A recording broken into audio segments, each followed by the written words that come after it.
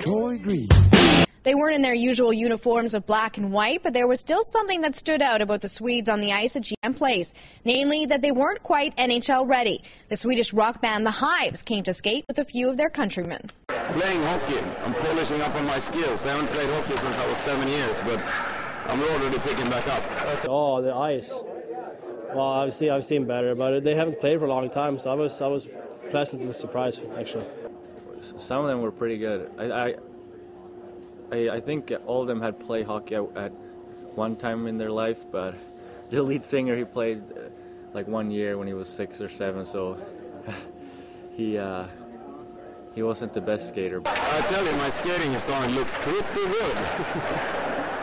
I haven't lost my touch since I was seven years old. It's good to know. We played like we played hockey for some time, but maybe we quit around the age of from ranging from you know 12 to 15 or something and chose to play music instead. or it was decided for us. Lack of talent. The NHL Swedes were intrigued with the chance to skate with rock stars, especially Alex Edler, who saw a chance for some free concert tickets. They gave me uh, tickets for me and my friends. Uh, they played a little too late because we had the game day after, so I got my friends in, so and they said the concert was awesome. So.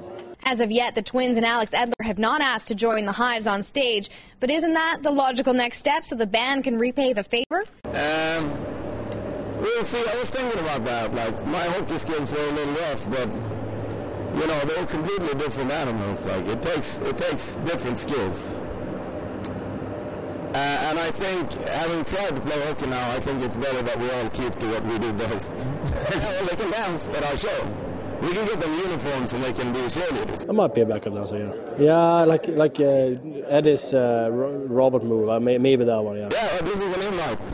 And if they want to sing, they can sing too. I'm pretty sure. They can sing our songs, it's pretty easy.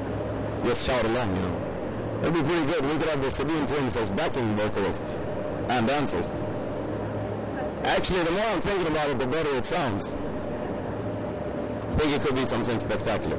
Not a chance. Um, I was nervous in, in school to, to talk in front of 15, 15 classmates, so so I don't think I would have been any good singing in front of people or, or being up on stage. So. For Canucks.com, I'm Kristen Reed.